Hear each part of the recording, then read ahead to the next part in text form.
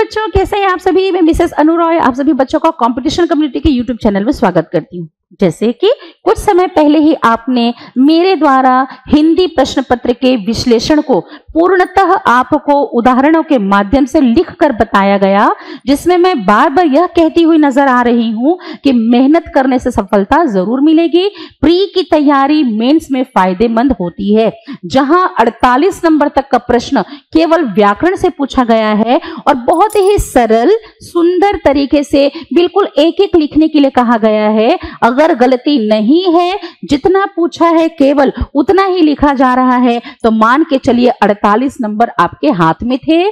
साथ ही जो आपके पत्र लेखन से प्रश्न आए थे 16 नंबर के, अनसिन पैसेज 8 नंबर का, संक्षेपण 8 नंबर का, और वही आपके 8 नंबर के आपको दिए थे अनुवाद लेखन। ठीक है? जो पूरी तरह गणित की तरह आपको स्कोर दे रहा था। समाचार पत्र पत्रिकाएँ भी बहुत सरल रूप में पूछी गई थी। यहाँ तक कि छत्तीसगढ़ के रचनाकारों के बारे में भी बहुत सरल तरीके से चीज़ें पूछी गई थी। अब बारी आती है प्रथम प्रश्न पत्र भाग तीन, जो है आपकी छत्तीसगढ़ी भाषा, जो मैक्सिमम मार्क्स 50 नंबर का होता है। इसके अंदर भी जहाँ तक मैं समझ पा रही हूँ 28 से 30 नंबर का प्रश्न केवल व्याकरण खंड से पूछा गया है। इस व्याकरण खंड से जो चीज़ें पूछी गई हैं, वह भी पिछले वर्ष के प्रश्न पत्र से बहुत सरल है।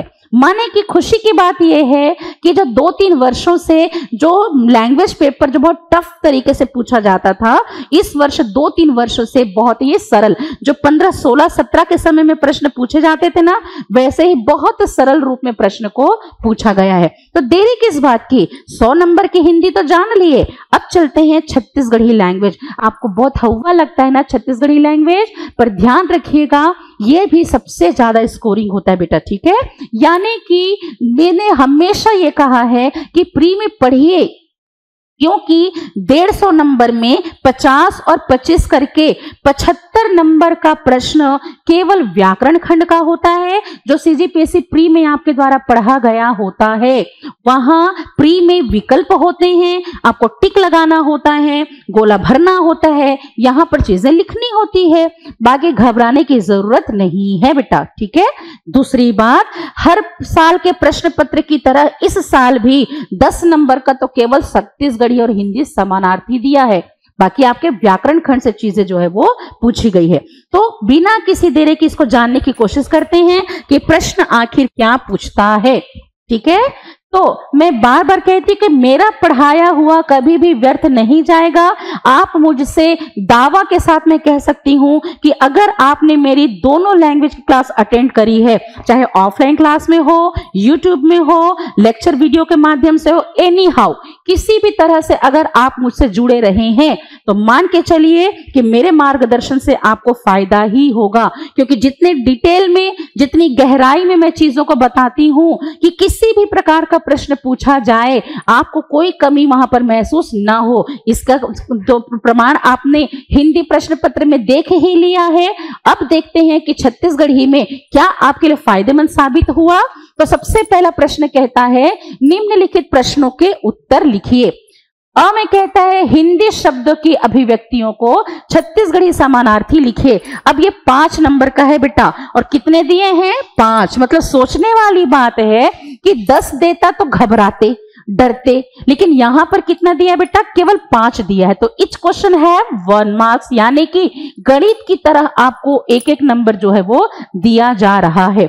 दूसरी बात, ये ध्यान रखेंगे कि जब भी हमारे द्वारा हिंदी और छत्तीसगढ़ी समानार्थी लिखा जाएगा तो बराबर ये ख्याल रखना है कि छत्तीसगढ़ शासन के द्वारा बिजहा कार्यक्रम के मद्देनजर जो शब्द शासन मान्य करता है, हम केवल उसे ही वहाँ पर उत्तर के तौर पर लेकर चलेंगे। ठीक है? सबसे पहले कहा है मेढक।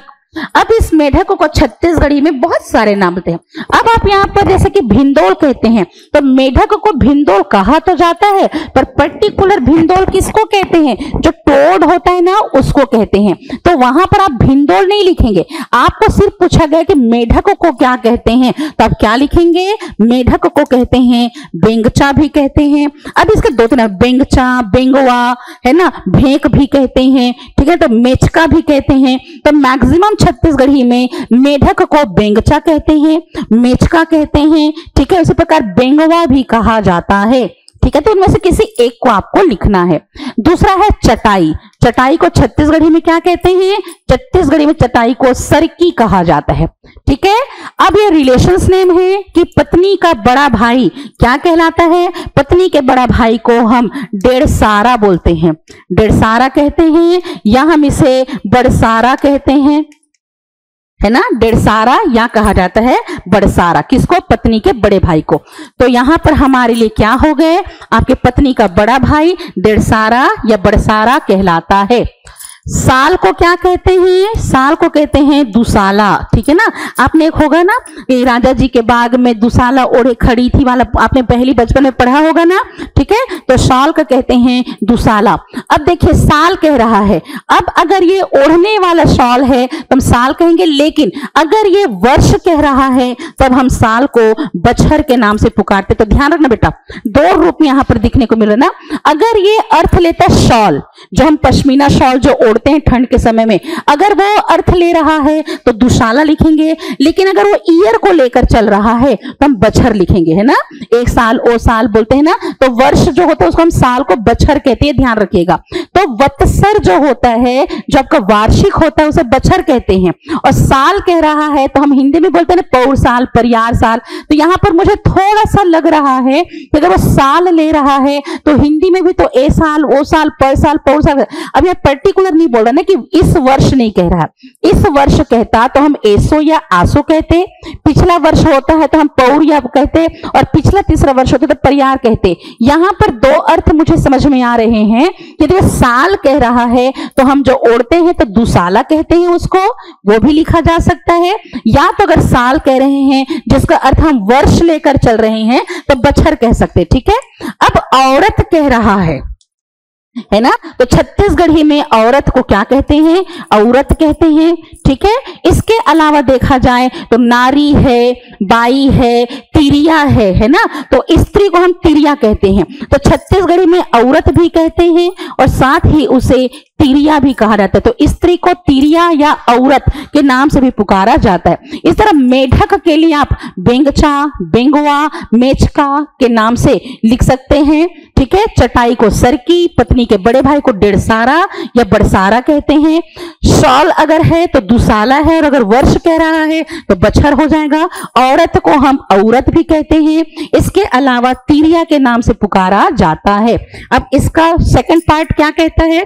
इसका सेकंड पार्ट कहता है, छत्तीसगढ़ी शब्द अभिव्यक्तियों के लिए हिंदी समानार्थी लिखना है। अब हिंदी में चोचकारी कह रहा है। चोचकारी कह रहा है तो हिंदी में हम उसे क्या कहेंगे? नुकीला कहेंगे। है ना? चोचकारी कह रहा है तो नुकीला। बर्दी क्या है? जानवरों का समूह। वर्दी क्या है? जानवरों का समूह, ठीक है? ये हमारे लिए आपका हो गया, ठीक है? डंडा पचरंडा, ये एक फूल है, जो चिरैया होती ना, चिरैया का फूल, है ना? तो डंडा पचरंडा जो है वो चिरैया का फूल है, हाइब्रिड वाला। अब देखिए, जब आपके वर्षा काल में, जब आपके जंगलों में अगर आप जाते हैं, या अपने खेत के किनारे डालते हैं तो आपको चिरैया का फूल नज़र आता है, जो गुलाबी रंग का छोटा छोटा होता है। उसी का एक ब्रीड होता है जो इतने बड़े बड़े रूप में होता है जो व्हाइट कलर का, ठीक है? आपका कत्थे कलर का, है ना? हल्के लाल कलर का, गुलाबी कलर का बड़ा रूप होता है चिरैया का, उसे डंडा पचरंडा कहा जाता है। अब आता है कोलकी। तो कोलकी का मतलब क्या होता है? आपका जो सकरा होता है, कोलकी मतलब कि जो आपका जो सकरा एरिया होता है ना, कोलकी मतलब हमारे के लिए सकरा जगह है ना? तो जो हमारे सकरा जगह होता है, उसे हम कहते हैं सकरी जगह, है ना? उसे कोलकी कहा जाता है। है ना? सकरी जगह को कोलकी कहते हैं। दरचुर्रा क्या होता है? अधपका को दरचुर्रा कहते हैं। ठीक है ना? दरचुर्रा किसको कहते हैं? अधपक्का को कहा जाता है। और इस तरह अगर देखा जाता है तो जो सकरी जगह है, उसे हम कोलकी कहते हैं, जो हमारे लिए एकदम बहुत ही सकरा जगह होता है, ठीक है? तो चोचकारी नुकीला है, बर्दी जानवरों का समूह है, डंडा पचरंडा जो चिड़ैया का फूल है, कोलकी सकरी जगह को कहते हैं दरचुर्रा अधपक्का को कहा जाता है, ठीक है?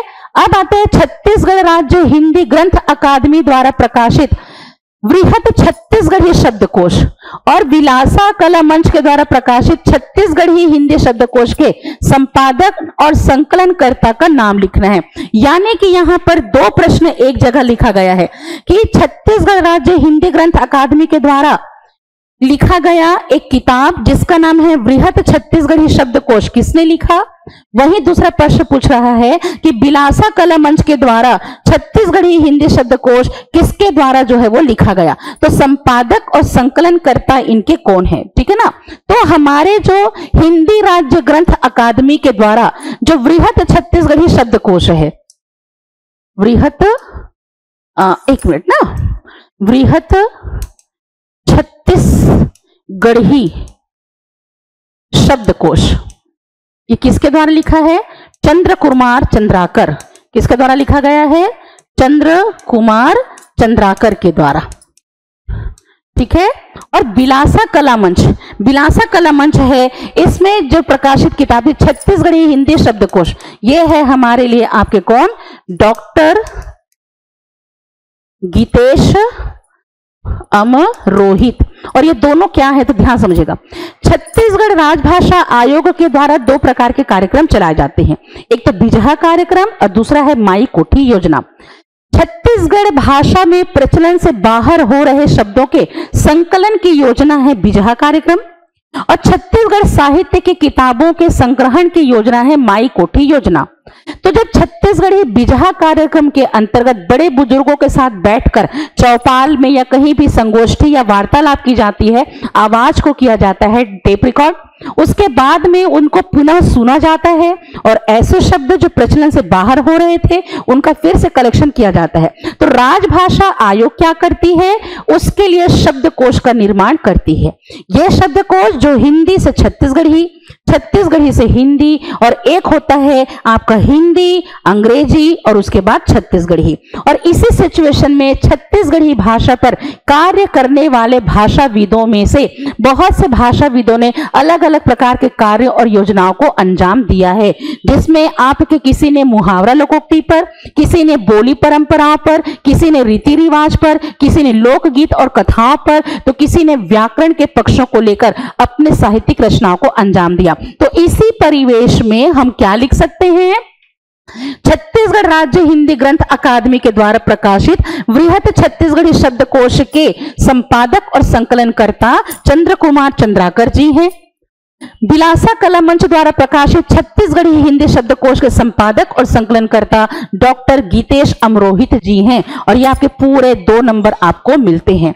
अब दिया है छत्तीसगढ़ी भाषा का उद विकास के रचनाकार का नाम लिखिए। तो ये है हमारे लिए आपका वन, ये हो गया टू और आपका नंबर थ्री। तो छत्तीसगढ़ी भाषा का उद विकास किसके द्वारा लिखा गया है? नरेंद्र देव वर्मा और ये क्या था? आपको मैंने क्लास में बताया था कि 1969 में, में 1969 में इनके द्वारा एक किताब लिखी गई छत्तीसगढ़ी भाषा का उद्विकास, जो 1961 में किए गए जनगणना को ध्यान में रखते हुए इन्होंने छत्तीसगढ़ी भाषा के उद्विकास में छत्तीसगढ़ का पाँच मुखी वर्गीकरण किया था, जिसमें जाति को, बाह्य भाषा के प्रभाव को और राज्य के स्थान को नाम देते हुए पाँच वर्गीकरण किए थे और छत्तीसगढ़ी भाषा के विकास में केंद्रीय छत्तीसगढ़ी उत्ती बुढ़ती रक्सहु भंडार की तरह पाँच वर्ग में उसको वर्गीकृत किया था। तो छत्तीसगढ़ी भाषा का उद्विकास हमारे छत्तीसगढ़ के राज्य गीत रचयिता नरेंद्र देव वर्मा के द्वारा 1969 में किया गया था। क्लियर हो गया? अब आते हैं अगले क्वेश्चन की ओर। कि निम्नलिखित छत्तीसगढ़ी शब्दों का स्त्रीलिंग और पुरलिंग लिखिए। अब आपको आइडेंटिफाई करना है। यदि पुरलिंग में है तो आप स्त्रीलिंग में लिखेंगे और स्त्रीलिंग में है तो आप उसको पुरलिंग में लिखेंगे। ठीक है? अब दिया है यहाँ पर फिरंता। फिरंता दिया है मतलब घूमने फिरने वाला। तो ये हमारे किसमें है? ये हमारे लिए पुरलिंग शब्द में है। अब ये पुरलिंग में है तो स्वाभाविक है, स्त्रीलिंग में लिखेंगे। तो फिरंता है तो हम क्या लिखेंगे? फिरंतीन। ठीक है ना? और यहाँ पर हमारे लिए हो जाएगी वो स्त्रीलिंग। क्लियर दूसरा दिया है कोढ़नीन अब यहाँ पर कोढ़नीन दिया है। अब आपको समझ में आ रहा है कि ये स्त्रीलिंग में है तो स्वाभाविक है, इसे हमको पुरलिंग में लिखना होगा।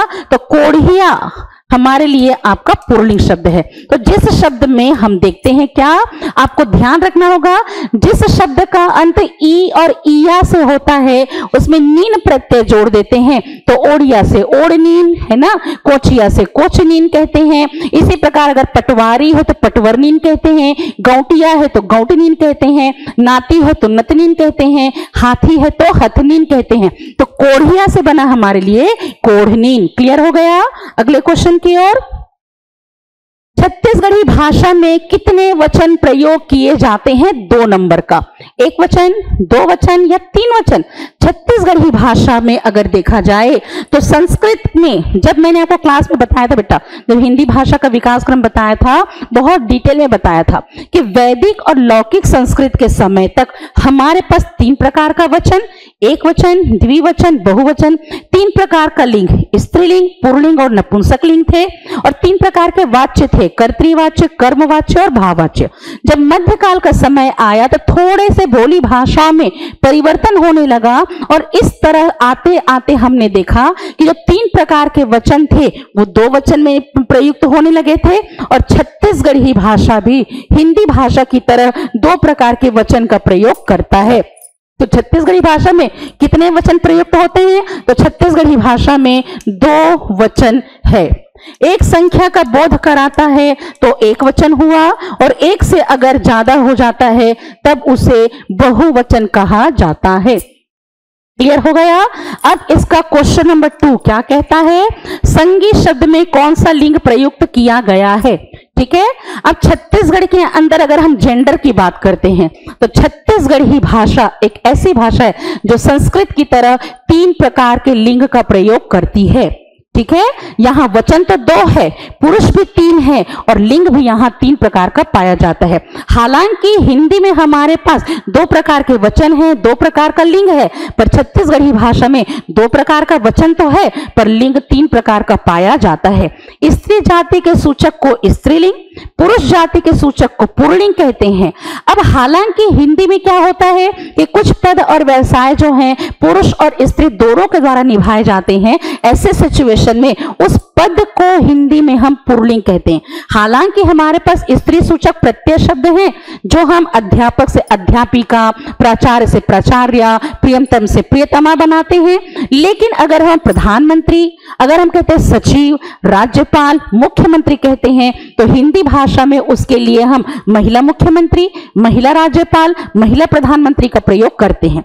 वैसे ही छत्तीसगढ़ी भाषा के अंतर्गत अगर हम देखते हैं तो कुछ शब्द ऐसे हैं, ध्यान रखिएगा। हिंदी में यदि हम मित्र कहते हैं तो पुर्लिंग शब्द है।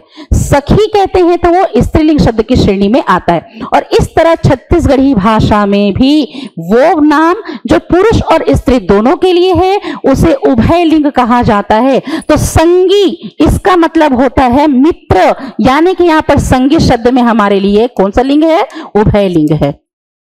संगी शब्द में उभलिंग है। तो अगर वो संगवारी कहता है, संगी कहता है, साथी कहता है, हितवा और हितवारी कहता है, इसी प्रकार हमारे लिए अगर वो चिड़ई कहता है लईका कहता है, मनखे कहता है है ना? तो सब हमारे लिए गरुआ कहता है। तब ये सब हमारे लिए उभय लिंग की श्रेणी में आते हैं। मित्रता संबंध रिश्ते में है। अगर गंगा जल, उसी प्रकार अगर कहते हैं, आपके भोजली कहते हैं, महाप्रसाद कहते हैं, अब मितान को मितानिन हो जाता है। महाप्रसाद को महाप्रसादिन हो जाता है। लेकिन भोजली, गंगा जल, इसी प्रकार अगर हम देखते हैं, जैसे कि गिया, उसी प्रकार अगर हम संगी कहते हैं, संगवारी कहते हैं, हितवा कहते हैं, हड़हेरा कहते हैं, ये सब हमारे लिए छत्तीसगढ़ी में उभय लिंग की श्रेणी में आता है। प्रश्न ने क्या पूछा, संगी में कौन सा मित्र है? और संगी का मतलब फ्रेंड होता है, जो लड़का लड़की दोनों हो सकते हैं, इसलिए कॉमन जेंडर है, ठीक है? अब आते हैं अगले प्रश्न की ओर। निम्नलिखित छत्तीसगढ़ी शब्द में कौन सा समास प्रयोगित है? अब देखिए बेटा, समास विग्रह नहीं कहा है, आज तक कभी नहीं पूछा है ना? छत्तीसगढ़ी लैंग्वेज में आज तक छत्तीसगढ़ी में समास विग्रह नहीं कहा है, सिर्फ़ समास की पहचान करने के लिए कहा है। आप मन ही मन उसको अलग करने की कोशिश कीजिएगा। सुआ पाख कह रहा है। अब सुआ किसको बोलते हैं हम? तोता को। तोते का पंख कैसा होता है? हरा होता है। तो सुआ पाख अगर कहता है है ना? सुआ पाख कहता है, तोते के समान हरा कहता है। तोते के पंख के समान हरा कहता है। तब यह हमारे लिए सुआ पाख हरियर कहता है तो हमारे लिए हो जाता है कर्म धारे समास। ठीक है ना? अब सुबह का पंख है है ना? जैसे कि अगर देखा जाए तो सुआ पाख हरियर कहता। सुआ पाख हरियर कहता तो कर्मधारय लेते, लेकिन सुआ पाख मतलब तोते का पंख कह रहे हैं, तब ये हमारे लिए क्या हो जाएगा? ऐसी सिचुएशन में ये हमारे लिए संबंध तत्पुरुष हो जाएगा। मैं एक ही चीज़ के दो हिस्से बता रही बेटा, ठीक है ना? देखिए, अगर वो एग्ज़ाम्पल कहता, जैसे कि सुआ पाख हरियर सुआ पाख हरियर कहता कि तोते रंग का हरा, तब हमारे लिए क्या बन जाता? कर्म धारे समास बन जाता एट्रीब्यूटिव कंपाउंड बन जाता। क्लियर हो गया? ठीक है? अब आ रहा है सुआ पाख। अब सुआ पाख कह रहा है, सुआ पाख, है ना? यानी कि सुआ, यानी कि तोते का पंख हो गया। अब तोता का पंख कह रहा है, तब हमारे लिए छत्तीसगढ़ी में भी ये संबंध तत्पुरुष हो जाएगा।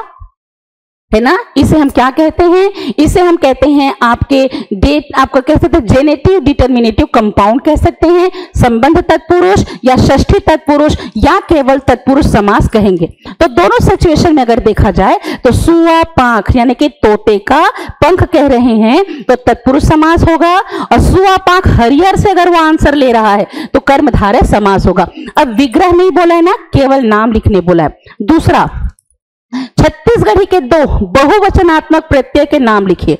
तो मैंने आपको बताया था कि बहुवचन में जब परिवर्तन करना होता है, जब एक वचन के शब्द को बहुवचन प्रयोग करना होता है तो हिंदी में फैसिलिटीज़ क्या होती है कि जब हम उसका वचन परिवर्तन करते हैं तो कभी कभी साउंडिंग इफ़ेक्ट को देखकर भी हम वर्ण अक्षरों को बदल देते हैं। जहाँ किसी में कारक रचना जोड़नी पड़ती है और कहीं कारक रचना जोड़नी नहीं पड़ती। तो लड़की से लड़कियाँ, पुस्तक से पुस्तकें, नदी से नदियाँ, इसी प्रकार वस्तु से वस्तुएँ, भाई से भाइयों, ऐसे पक्ष होते छत्तीसगढ़ी में ऐसी फैसिलिटीज़ नहीं है। लेकिन हिंदी की तरह जैसे हम ढेर, बहुत, खूब, ये उपसर्ग के तौर पर प्रयोग करते हैं और साथ में सारा लगाते हैं। ढेर सारा, खूब सारा, बहुत सारा। छत्तीसगढ़ी में ढेर कन खूब कन गंज कन अब्बड़ कन का प्रयोग होता है। लेकिन कुछ ऐसे शब्द हैं जैसे कि हम हिंदी में लोग और जन लगाते हैं। लोग और जन लगाते हैं। छत्तीसगढ़ी में भी हमारे लिए बहुत से शब्द हैं जो बहुवचन के तौर पर प्रयोग होते हैं। सबसे ज़्यादा छत्तीसगढ़ी में बहुवचन प्रयोग करने के लिए हम लोग के अर्थ में मन का प्रयोग करते हैं। इसलिए मैं से हमन तय से तू मन ए मन, ओ मन बन जाता है। कभी कभी हम यहाँ मनन का प्रयोग करते हैं, लइका मनन, है ना? मजदूर मनन, बहुरिया मनन। इसके अलावा हम झन का प्रयोग करते हैं। है ना? दू झन, दस झन अब्बड़ झन तो मन, मनन झन का प्रयोग करते हैं और बहुवचन प्रत्यय के लिए हम कभी कभी च का भी प्रयोग करते हैं। लईके च लइका आपका छेरी च छेरी, इसका भी इस्तेमाल होता है। केवल दो लिखने के लिए बोला है है ना? तो आप चाहें तो आप मन का और झन का प्रयोग लिख सकते हैं। तो किसी भी दो बहुवचन प्रयोग करने वाले प्रत्यय को लिखना है, ठीक है? लेकिन इसके अलावा देखिए हम किसका प्रयोग करते मन, मनन, पंच, पंचन इसी प्रकार हमारे द्वारा इस्तेमाल किया जाता है झन का, इसी प्रकार लोगन का, इसी प्रकार च, एच का प्रयोग किया जाता है, ठस ठस, खस खस, इसका भी इस्तेमाल होता है। क्लास में मैं हर एक चीज़ को बताती हूँ बेटा।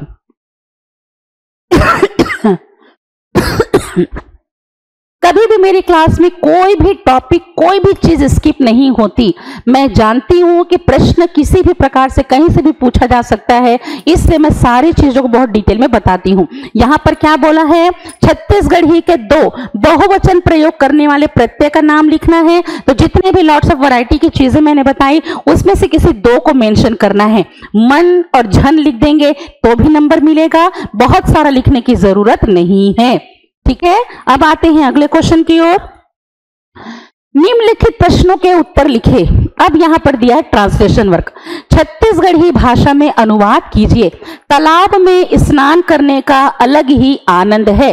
अब छत्तीसगढ़ी में तालाब को कहते हैं तरिया, स्नान को कहते हैं स्नान ठीक है ना, करने का अलग ही आनंद है। तो क्या कह सकते हैं? तरिया माँ स्नान करे के अलग ही आनंद है, या कह सकते हैं तरिया माँ नहाए के अलग ही आनंद है। इसका प्रयोग जो है वो आपके द्वारा अनुवाद में किया जा सकता है। ठीक है ना? उसी प्रकार हम कह सकते हैं ओ मन लिखत रहीन।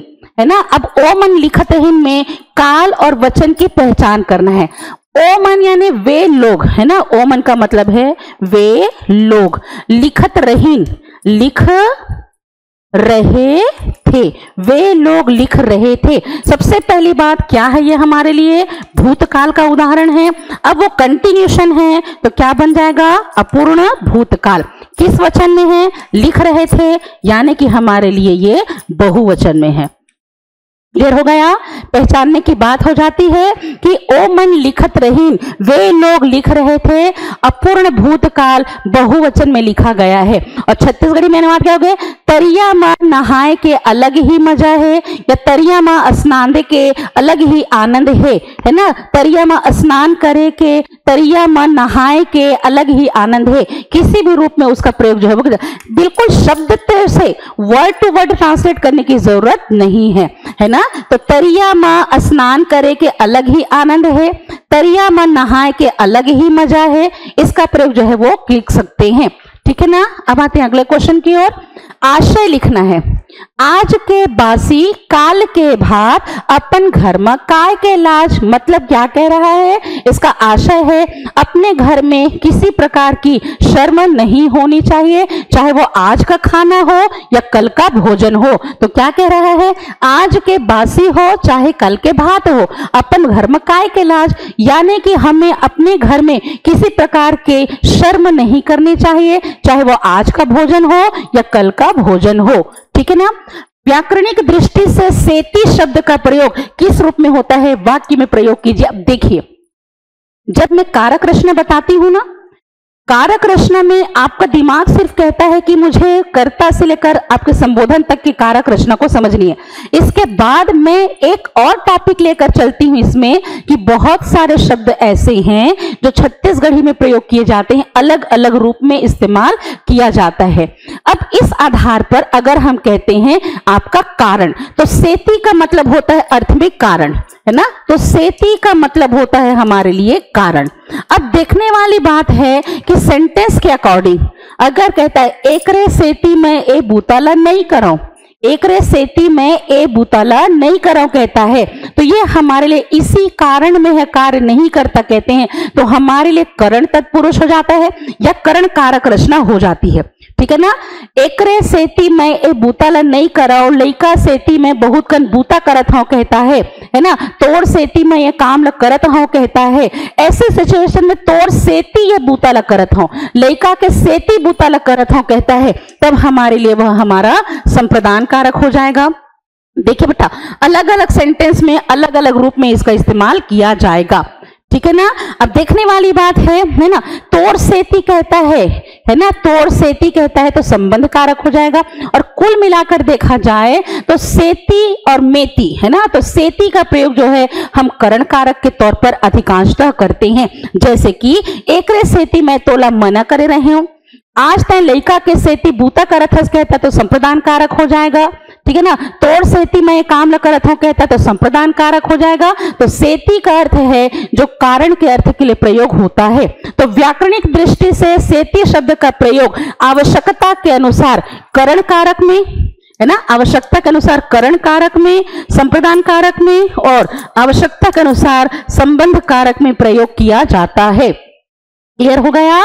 तो एग्ज़ाम्पल कैसे लिखेंगे? जैसे लइका के सेती में बूता करत हूँ मतलब बच्चे के लिए मैं काम कर रहा हूँ तोड़ सेती में काम करत हूँ मतलब संबंध हो गया। एकरे कारण मैं यहाँ नहीं आऊँ, कहता है तो करण कारक हो जाता है। तो आवश्यकता के अनुसार सेती का प्रयोग हम अधिकांशतः करण कारक में, संप्रदान कारक में और ज़रूरत पड़ने पर संबंध कारक में इस्तेमाल करते हैं। अगला है आपकी पहली। ये भी आपके कोको के नोट्स में मिलेगा। साथ ही मेरे हर लेक्चर वीडियो में आपको कहीं ना कहीं सुनने को ज़रूर मिलेगा। तो मैं फिर से कह रही हूँ कि जिस बच्चे ने किसी भी तरीके से अगर मेरे लैंग्वेज के लेक्चर को अटेंड किया हुआ है तो इस बार का प्रश्न पत्र उसको बहुत नंबर देने में मददगार साबित होगा। मैं दावा करती हूँ कि मैं कभी भी कोई भी चीज़ स्किप नहीं करती बेटा।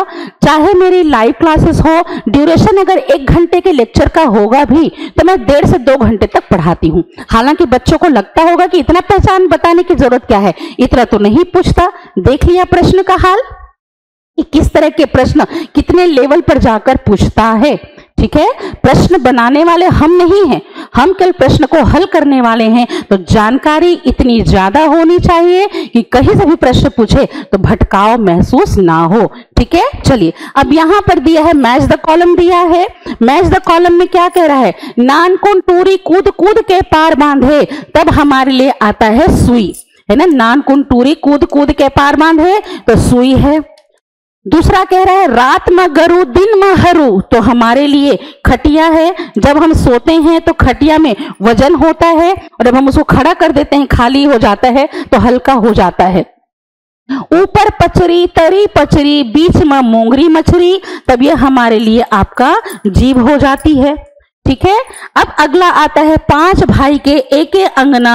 तो ये हमारे लिए हथेली है। ये हमेशा मैं ये चारों एग्ज़ाम्पल जब भी मैं जनौला बताती हूँ, आपको मैं ज़रूर एक्सप्लेन करती हूँ। और ये आपके कोको के नोट्स में भी है और मेरे द्वारा लेक्चर में भी इसे स्पेशली तरीके से बताया गया। ठीक है? नेक्स्ट वन क्वेश्चन निम्नलिखित हिंदी वाक्यों का छत्तीसगढ़ी में अनुवाद कीजिए। मजदूरों के हित के लिए क्या क्या योजना है? अब मजदूर को छत्तीसगढ़ी में क्या कहते हैं? बनिहार। है ना? मजदूर को कहते हैं बनिहार। अब बनिहार मन के, अब मजदूरों कह रहा है तो बहुवचन है तो बनिहार मन के, है ना? हित बर है ना? बनिहार मन के हित बर। अब हित कह रहा है है ना? हित बर कह सकता है, या बनिहार मन के हित के खातिर कह सकता है। बनिहार मन के हित बर या बनिहार मन के हित के खातिर कह सकता है। है ना? इसका मतलब होता है हमारे लिए के लिए। क्या क्या योजना है? तो बनिहार मन के हित बर या बनिहार मन के हित के खातिर काय काय योजना है? काय योजना है भी कह सकते हैं, या हम कह सकते हैं काय काय योजना हावे, है ना? या योजना है या काय का योजना हावे, इसका इस्तेमाल कर सकते ठीक है ना, आगे समझ में? तो बनिहार मन के हित बर काय काय योजना है? तो बनिहार मन के हित बर काय काय योजना हावे भी कह सकते हैं, या हम यहाँ पर काय काय योजना है का भी प्रयोग कर सकते चावल पक रहा है। अब छत्तीसगढ़ी में चावल को क्या कहते हैं? चौर। पकना को कहते हैं चूरना। अब कंटिन्यूशन टेंस है। है ना? पक रहा है। है ना? अब किसी भी क्रिया के शब्द के साथ में अत और वत जोड़ देते हैं। ठीक है ना? अत और वत जोड़ देते हैं तो हम यहाँ पर हे हावे का भी प्रयोग करेंगे। तो चौर हर, है ना? चूरत है है ना? चौरहर चूरत है, या चूरत हावे, या चूरत हवे, या चूरत हावे का इस्तेमाल कर सकते। कोई भी एक शब्द का इस्तेमाल करते हैं। तो हम कह सकते हैं चौर चूरत है भी कह सकते हैं। अब हर लगाना नहीं है तो इसको छोड़ भी सकते हैं। तो चावल पक रहा है तो चौर चूरत है। है ना? या चौर चूरत हावे, या हवे, या हावे। इसमें से किसी एक का इस्तेमाल आपको करना है। बैठक में कार्यवृत्त का मसौदा अनुमोदन के लिए प्रसिद्ध है। अब बैठक को छत्तीसगढ़ी में गुड़ी भी कहते हैं, पंचों की बैठक कह सकते हैं, या हम यहाँ पर बैठक कह सकते हैं। है ना? गुड़ी कह सकते हैं या बैठक। तो बैठक माँ, है ना? गुड़ी ना कहकर हम, गुड़ी का प्रयोग यहाँ पर उचित नहीं है। पंचों की बैठक को गुड़ी कहते हैं तो यहाँ पर इसका प्रयोग नहीं कर सकते। तब यहाँ पर बैठक माँ तो बैठक को क्या कहते हैं? बैठक माँ, है ना? कार्यवृत्त के मसौदा, अनुमोदन के लिए प्रस्तुत है कह सकते हैं। तब हमारे लिए क्या बनेगा ये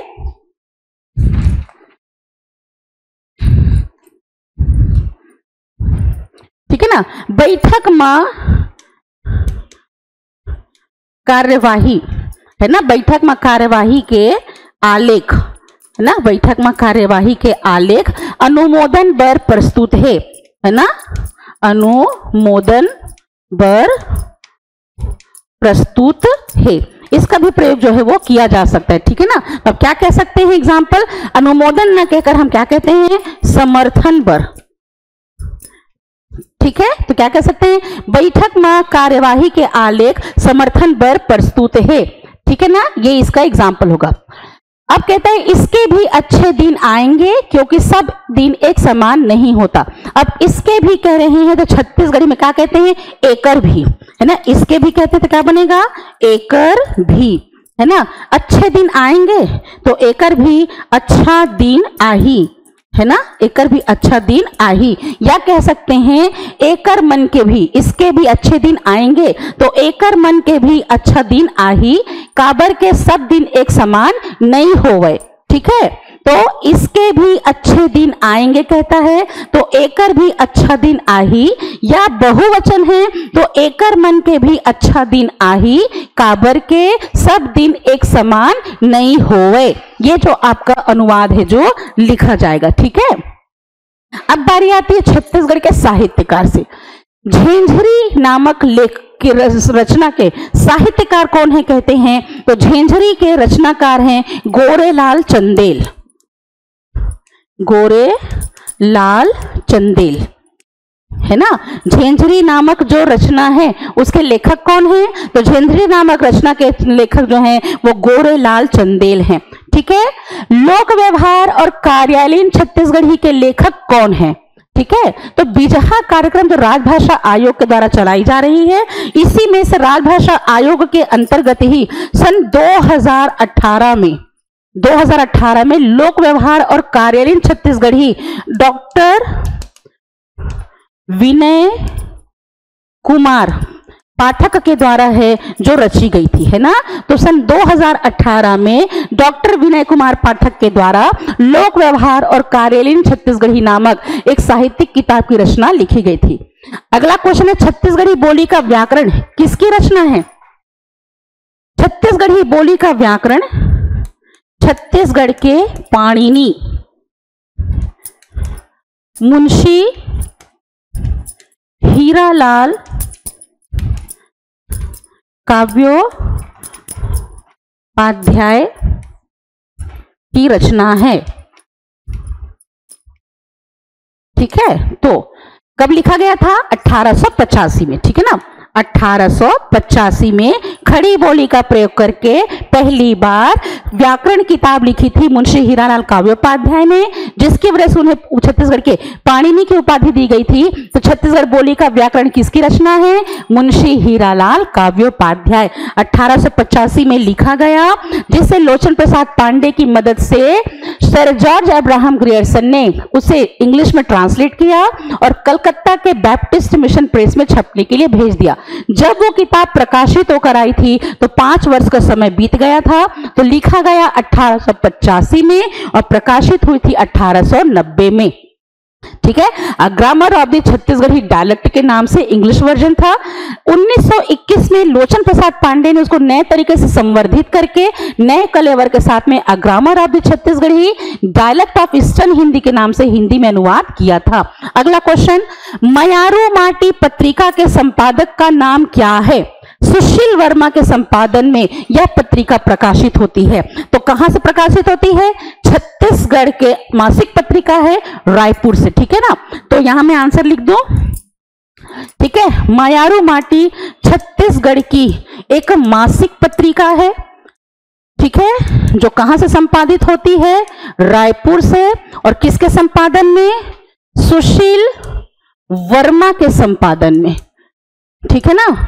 तो मयारू माटी पत्रिका के संपादक का नाम सुशील वर्मा है, जो छत्तीसगढ़ी मासिक पत्रिका है, रायपुर से इसके संपादन में प्रकाशित की रहती तो जितना पूछा ना बाबा, उतना ही नाम लिखिएगा ठीक है ना? कि झेंझरी के लेखक गोरेलाल चंदेल हैं, लोक व्यवहार और कार्यालय छत्तीसगढ़ के लेखक डॉक्टर विनय कुमार पाठक हैं, छत्तीसगढ़ी बोली का व्याकरण मुंशी हीरालाल काव्य उपाध्याय के द्वारा लिखा गया है, मयारू माटी पत्रिका के संपादक सुशील वर्मा है, ठीक है ना? छत्तीसगढ़ी गीतों का राजा किस गीत को माना जाता है? आप सभी को पता है ददरिया को। है ना? छत्तीसगढ़ी गीतों का राजा किसको माना जाता है? ददरिया को माना जाता है। ठीक है? अब आते हैं अगले क्वेश्चन की ओर। हम्म तो अगला क्वेश्चन क्या कहता है? अब देखिए, साहित्य खंड से प्रश्न उठाया है कि छत्तीसगढ़ के प्राचीन प्रेम गाथाओं में से किसी एक का नाम लिखना है। अब प्रेम गाथा क्या है?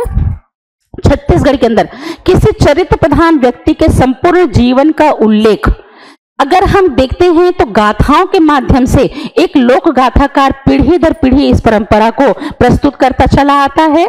तीन से पाँच दिन के भीतर सभा में या किसी ऐसे जगह पर कंठबद्ध तरीके से सुनाता है तो उसे हम गाथा युग के नाम से जानते हैं। छत्तीसगढ़ में गाथा युग को छत्तीसगढ़ का स्वर्णिम युग कहा जाता है। इस समय प्रेम प्रधान धार्मिक और पौराणिक गाथाएँ जो है वो सुनाई जाती थी। प्रेम प्रधान गाथाओं में हम विशेष तौर पर क्या जानते हैं एक जानते हैं आपके अहिमन रानी की गाथा। ठीक है? ये तो बहुत इजी है आपके लिए। अहिमन रानी की गाथा है। दूसरा हम पढ़ते हैं केवला रानी की गाथा, राजा वीर सिंह की गाथा। ये प्रेम पर आधारित गाथा है। धार्मिक और पौराणिक में फुलवासन है और पंडवानी की गाथा। जब मध्यकाल का समय आया, मुगल वंश का शासक आए तो मुगल वंश के समय में पहला मुगल आक्रमण 1536 में राजा बहरेंद्र के समय में हुआ। तो गाथा युग का अंत, भक्ति युग की शुरुआत में जो धार्मिक और पौराणिक गाथा गाई जा रही थी, उस समय एक और गाथा सुनाई देने लगी थी, जो थी वीरता से संबंधित गाथा। अकबर की गाथा, कल्याण साई की गाथा, राय सिंह का पंवारा ढोला मारू की गाथा, है ना? इसके साथ साथ अगर देखा जाए तो समाज और पंथ की धारा में कबीर पंथ और सतनाम पंथ भी प्रभावित होने लगे। तो प्रश्न ने क्या पूछा है? छत्तीसगढ़ की प्राचीन प्रेम गाथाओं में से किसी एक का नाम लिखिए तो आप वहाँ पर लिख सकते हैं, किसी एक में अहिमन रानी की गाथा। है ना? आगे समझ में? अब है क्वेश्चन नंबर टू छत्तीसगढ़ के किस कवि के नाम से छत्तीसगढ़ में विश्वविद्यालय की स्थापना करी है? साहित्यिक क्षेत्र में जो हमारे लिए तुलसीदास हैं, पंडित सुंदरलाल शर्मा। और राजनीति के क्षेत्र में जिसे हम गांधी के नाम से उपाधि देते हैं तो इनके नाम से बिलासपुर में एक विश्व मुक्त विश्वविद्यालय है तो पंडित सुंदरलाल शर्मा। पंडित सुंदर लाल शर्मा। ठीक है ना? पंडित सुंदरलाल शर्मा, जो छत्तीसगढ़ के साहित्य के क्षेत्र में तुलसीदास की उपाधि दी गई है, उनके नाम से छत्तीसगढ़ के बिलासपुर में एक मुक्त विश्वविद्यालय की स्थापना जो है वो की गई है। ठीक है? अगला क्वेश्चन क्या कहता है? खुसरा चिरई के बिहाव किसकी रचना है? तो छत्तीसगढ़ राज्य के अंतर्गत हास्य व्यंग पर प्रहार करने वाला पहला एक ऐसा रचना जो कपिलनाथ मिश्र के द्वारा रची गई थी, खुसरा चिरई के बिहाव। कपिलनाथ मिश्र के द्वारा रची गई थी खुसरा चिरई के बिहाव। कहा जाता है कि छत्तीसगढ़ का यह पहला एक ऐसा शब्द प्रयोग है, जहाँ छत्तीसगढ़ के जीव जंतु कीड़े मकोड़े पेड़ पौधे पशु पक्षी सबका छत्तीसगढ़ी शब्दकोश की तरह वर्णन किया गया। कि दुल्हा हर तो दुल्ही पाइस दुल्हा हर तो दुल्ही पाइस बामहन पाइस टक्का। सबे बराती बरा सुहारी, समधी धक्कम धक्का। नाव बंजनिया दोनों झगड़ते है, नेंग चुका दे पक्का। हाथ में को कौड़ी नहीं है, समधी हक्का बक्का। तो कहते हैं कि खुसरा छत्तीसगढ़ में क्या है? आउल जो होता है ना, उल्लू तो बड़ा वाला है ना तो घुघुआ कहते हैं। और छोटू वाला होता है ना, उसको कहते हैं खुसरा। तो उसकी शादी है। खुसरा चिरई के बिहाव। उसकी शादी है तो उसका न्योता जंगल के जितने भी जीव जंतु है, कीड़े मकोड़े, पशु पक्षी हैं, वृक्ष हैं, लताएँ हैं, फूल पौधे हैं, सभी को न्योता दिया गया है खुसरा चिरई के बिहाव का। तो एक प्रकार का यह शब्द कोश माना जाता है। ठीक है? और ये रचना किसने की थी? कपिलनाथ मिश्र के द्वारा रची गई थी। ठीक है? तो अगला क्वेश्चन क्या कहता है? अगला क्वेश्चन कहता है हमारे लिए हम सब ओस चाटेले प्यास नहीं बुझावे। हिंदी रूपांतरण दिखे। अब ये हमारा हिंदी का एक मुहावरा है बेटा। है ना? याद आया होगा क्या है? ओस चाटेले प्यास नहीं बुझावे। तो क्या बनेगा इसका एग्ज़ाम्पल ओस चाटने से प्यास नहीं बुझती। ओस चाटने से प्यास नहीं बुझती। इसका छत्तीसगढ़ी से किसमें अनुवाद करना था? हिंदी में। तो ओस चाटने ले प्यास नहीं बुझावे तो हिंदी रूपांतरण होगा। ओस चाटने से प्यास नहीं बुझती। अब इसी का दूसरा पक्ष दे दिया है। हम सभी आदमी आए थे, छत्तीसगढ़ी में अनुवाद करें। हम सभी आदमी कह रहा है। तो क्या बनेगा? हम सबो आदमी आए रहें। क्या बनेगा? हम सबो आदमी हम सबो आदमी। अब यहाँ पर सबो आदमी, जम्मो आदमी भी कह सकते हैं। हम सबो आदमी, हम सबो आदमी आए रहें। ठीक है ना? अब छत्तीसगढ़ में कभी कभी रहेन भी बोलते हैं ना। हम सबो आदमी आए रहें, हम जम्मो आदमी आए रहें। इसका अनुवाद छत्तीसगढ़ी में हम सभी आदमी आए थे तो छत्तीसगढ़ी में इसका अनुवाद होगा। अगला क्वेश्चन हिंदी भाषा के विकास छत्तीसगढ़ी भाषा के विकास में समाचार पत्र पत्रिकाओं की क्या भूमिका थी? ठीक है ना? अब देखने वाली बात है कितने नंबर का है आपका? दो नंबर का। ठीक है ना? तो हम क्या लिखेंगे? छत्तीसगढ़ में राजनांदगांव में प्रजा मित्र का पंजीयन होने के बाद 19वीं शताब्दी में छत्तीसगढ़ में सबसे पहली पत्रिका बिलासपुर के पेंड्रा से आपकी प्रकाशित हुई। नाम था छत्तीसगढ़ मित्र, जिसे छत्तीसगढ़ का प्रथम समाचार पत्र पत्रिका के नाम से नाम जो है वो दिया गया है। इसके बाद धीरे धीरे छत्तीसगढ़ अंचल के अंदर भी, छत्तीसगढ़ी भाषा में समाचार पत्रिकाओं का प्रभाव देखने को मिलता है। कुछ समाचार पत्रिकाएँ ऐसी थी जो छत्तीसगढ़ के हर एक अंचल से प्रकाशित थी। जैसे कि रायगढ़ दर्पण है, जो रायगढ़ से प्रकाशित होती थी। भिलाई से, बिलासपुर से, कोरबा से, कल, आपके कटघोरा से, यहाँ तक कि रायपुर से समाचार पत्रिकाओं की शुरुआत हुई।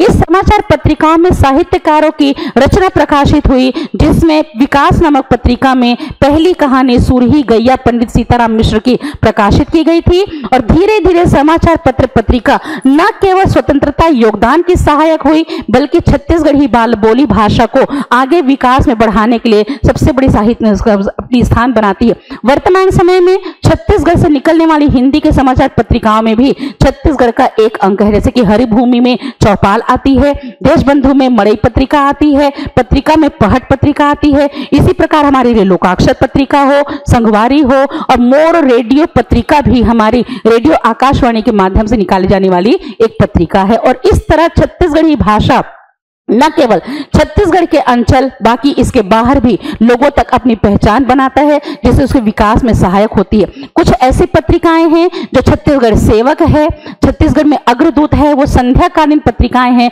जो छत्तीसगढ़ी भाषा में निकाली जाती है।